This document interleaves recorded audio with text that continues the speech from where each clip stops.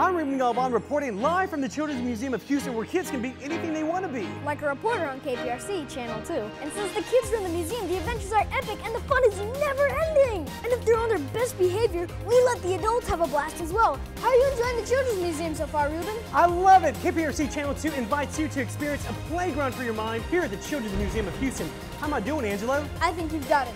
I'm Angelo Dillon, reporting live from the Children's Museum of Houston. Can your mind come out to play?